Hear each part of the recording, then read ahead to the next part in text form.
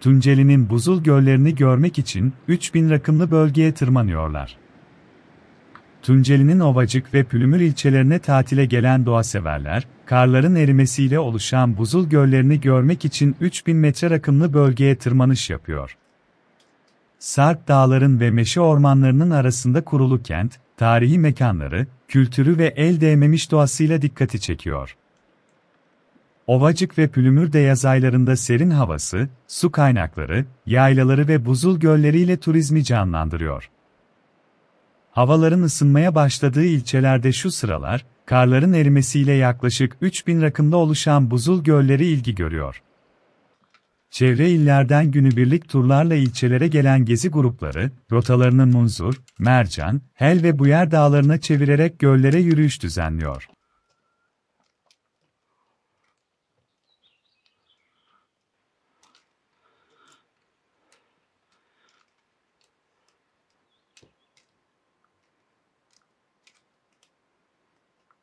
Oradan bu Karagöl Dağı var.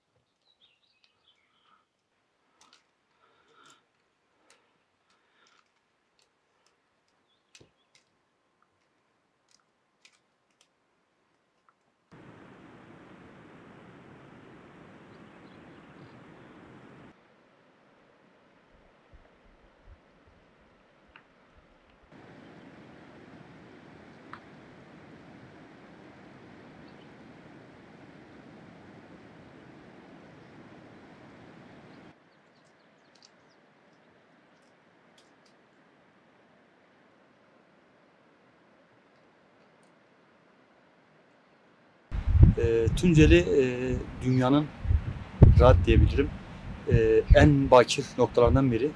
Doğası olarak, bitki ve e, canlı yapısı olarak e, harika bir doğa.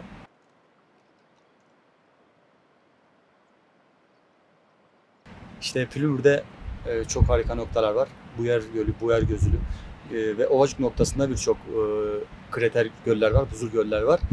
E, bunların profesyonel turizme açılması gerekiyor. Böyle rastgele insanların gelip doğayı kirlettiği değil de çok profesyonel rotaların oluşturulup buralara ciddi böyle bilinçli turizmin açılması gerekiyor tanıtılabilmesi için.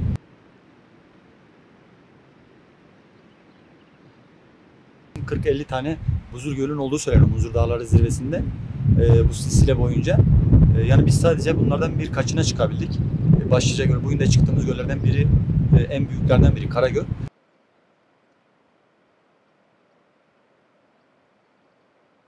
E, zorlu bir parkur. E, çıkışımız neredeyse 5-6 saat sürdü. Şu anda göl bölgesinde dolaşıp işte bizlerle gelen dostlarımız fotoğraflar çekiyorlar. Buranın mutlu atmosferini yaşıyorlar şu anda.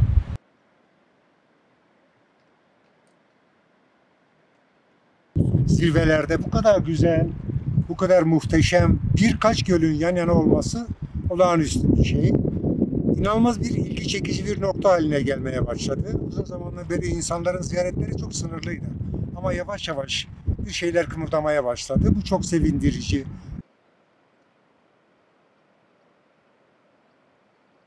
Muhteşemdi. Hava da güzellik yaptı bize. Oldukça keyif aldı. Doğada daha yeni uyanıyor bütün renkleriyle bir şeyler sunmaya çalıştı. Sadece bir eksiğimiz kaldı. Yaban hayatındaki hayvanlara ulaşamadık. Da bir şans. Her geldiğimizde mutlaka onlarla karşılaşma şansımız olurdu. Ama bu defa, bu defaki eksikliğimiz sadece o. Onun ötesinde gerçekten muhteşem bir şey.